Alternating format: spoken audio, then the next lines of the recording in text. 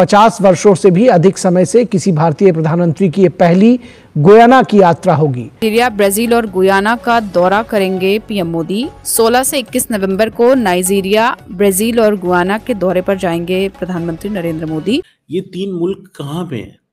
तो आपको अंदाज़ा होगा कि भारत की जो लीडरशिप है वो कितना ज़्यादा डिफरेंट सोचती है डिफरेंट कनेक्शंस हैं। आप देखें कि ब्राज़ील साउथ अमेरिका के अंदर है। गियाना जो है, ये दैट इज़ समवेयर जिसको आप कह लें कि इन साउथ अमेरिका जो है में मौजूद है नॉर्थ अटलांटिक कोस्ट के ऊपर, ठीक है? दैट इज़ वेयर रिकॉर्ड और दो हो गए। तीसरा नाइजेरिया पे आप आ जाए।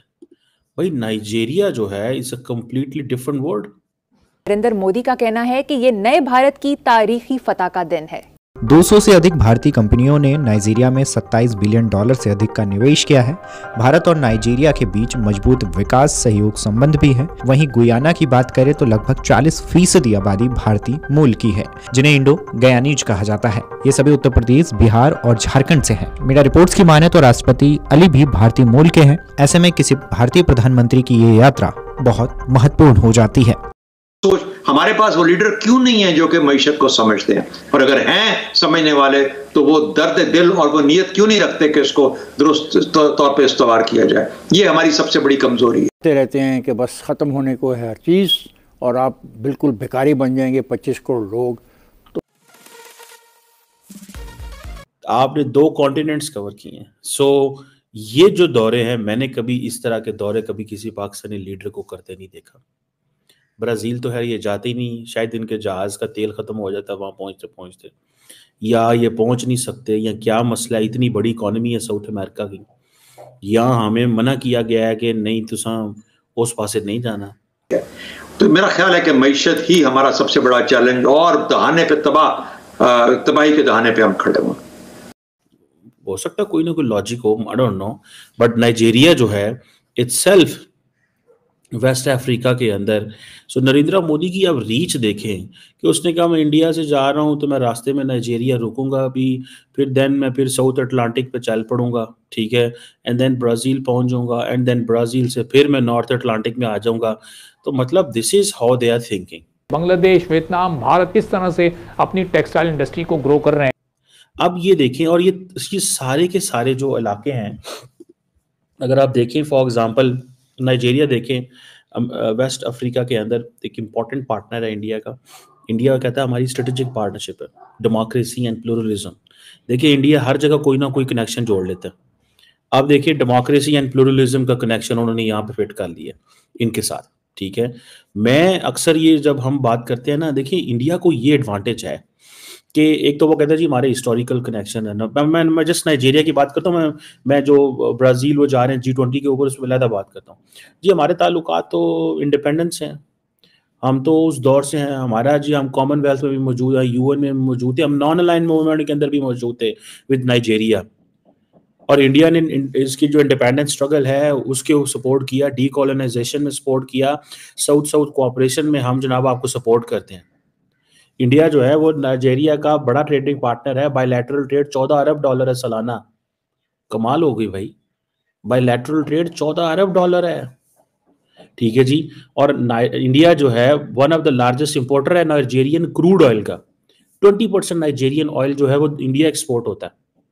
सो अब आप इमेजिन कर लें, पाकिस्तान नहीं तो कितने जाना है यार? सिर्फ़ डाइवर्सिफिकेशन चेक करें। There is no country on earth जहाँ पे इंडियंस नहीं बैठे हुए। सो नाइजेरिया जो है वो crude oil and liquid natural gas जो है वो सप्लाई करता है इंडिया को। देन आप आ जाएँ इसकी डेवलपमेंट uh, कोऑपरेशन उसमें भी वो uh, काफ़ी लगे हुए हैं। टेक्नोलॉजी ट्रांसफ़र में इंडिया जो है वो टेक्नोलॉजी ट्रांसफ़र में सपोर्ट करता है नाइजेरिया को। हेल्थ केयर में सपोर्ट करता है। फिर वो कहते हैं जी कि हमारे तो ताल्लुक बड़े जो है ना वो पुराने हैं। स्टूडेंट्स बहुत ज़्यादा हैं। नाइजेरियन स्टूडेंट्स इंडियन यूनिवर्सिटीज़ में आते हैं। सो so, सो so ये आप इस लेवल से देखें। अब आ जाए आप अगर सिर्फ़ देखें नरेंद्र मोदी की ये जो अप्रोच जी ट्वेंटी की देखें बाद में मैं दूसरा वो की डिस्कस करता हूँ। अब ये देखें कि ये जो जी ट्वेंटी की वो जो जा रहे हैं लास्ट ईयर इंडिया ने जी ट्वेंटी होस्ट की थी। अब इंडिया जो है again that is making a big thing ठीक है जी? आ, अब सुनने में आ रहा है कि शी जिनपिंग भी वहाँ पहुँचे शी जिनपिंग पेरू पहुँचे हुए हैं by the way Joe Biden भी आ रहे हैं वहाँ पे रियो डी जेनेरियो अठारह उन्नीस नवंबर को ये मुलाकातें हो रही हैं। Important very important very important meetings और इंडिया जो है, वो आपको पता है कि पिछले साल जो उन्होंने अपने जी ट्वेंटी कराई, बड़ी इंपॉर्टेंट थी, ठीक है? उन्होंने उससे काफ़ी ज़्यादा जो है ना, वो अपने ग्लोबल स्टेज पे अपनी मार्केटिंग इंडिया ने की, टका के मार्केटिंग की and the world did realise के भाई, और अमेरिकन ने इस वक्त टका के सपोर्ट किया। अब देखते हैं, वैसे जस्टिन ट्रूडो ने भी वहाँ आते हैं कि नहीं आते? ठीक है जी।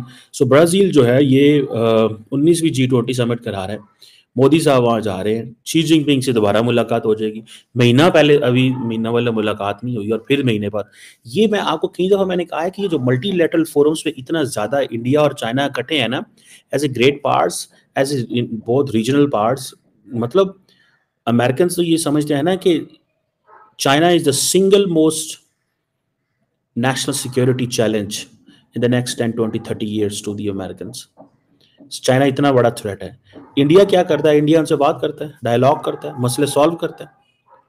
और अब फिर मौका शी जिनपिंग को उनको मिल जाएगा। पता नहीं वो बायोलैटरल मीटिंग करते हैं या नहीं करते। ठीक है जी? क्योंकि वहाँ पे जो रशिया की थी, वो भी एंड टाइम पे पता चला था। आई थिंक पहले नहीं था पता। लेकिन ये ज़रूर पता था कि मुलाकात होगी। So one earth one family one future का नारा भी मोदी ने वहाँ लगा देना। ठीक है जी?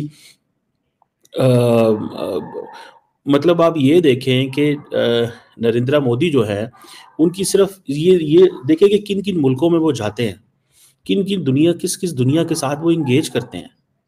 और जैसे कहेंगे ना कि उनको अपना एक एक एक, उन्होंने अपना और डेवलप किया हुआ कि Africa is part of that um नहीं, दुनिया अगले दिन डॉक्टर जयशंकर वहाँ पे I think he was somewhere in South East Asia में की बैठे हुए थे। कन्वर्सेशन कर रहे थे तो उसने कहा कि we are ready to lead 125 countries so Africa हो या लैटिन अमेरिका हो इंडिया समझता है कि हर इंपॉर्टेंट मुल्क जो है साउथ अमेरिका का हमें वहाँ जाना चाहिए। जय हिंद दोस्तों, आपका फास्ट नॉलेज फैक्ट में स्वागत है। दोस्तों पीएम नरेंद्र मोदी, तीन देशों की पाँच दिवसीय यात्रा के लिए रवाना हो गए हैं। इस दौरान 16 नवंबर से 21 नवंबर तक पीएम मोदी तीन देशों की यात्रा पर रहेंगे। पीएम मोदी ने इस दौरान ब्राज़ील, गुआना और नाइजीरिया जाएँगे। पीएम मोदी जी ट्वेंटी शिखर सम्मेलन में भाग लेने के लिए ब्राज़ील जाएँगे। नाइजीरिया के राष्ट्रपति बोला अहमद टिनुबू के निमंत्रण पर पीएम मोदी सोलह 16 से 17 नवंबर को नाइजीरिया की यात्रा पर रहेंगे। विदेश मंत्रालय की ओर से जारी बयान के अनुसार 17 वर्षों में भारत के प्रधानमंत्री की नाइजीरिया की पहली यात्रा होगी। बयान में कहा गया है कि यात्रा के दौरान प्रधानमंत्री भारत और नाइजीरिया के बीच रणनीतिक साझेदारी की समीक्षा करेंगे तथा साथ ही द्विपक्षीय संबंधों को बढ़ाने के अवसरों पर भी चर्चा करेंगे। इसके बाद 19 से 21 नवंबर तक गुआना की राजकीय यात्रा पर रहेंगे। गुआना की यह यात्रा उन्नीस सौ अड़सठ के बाद भारत के प्रधानमंत्री की पहली यात्रा होगी।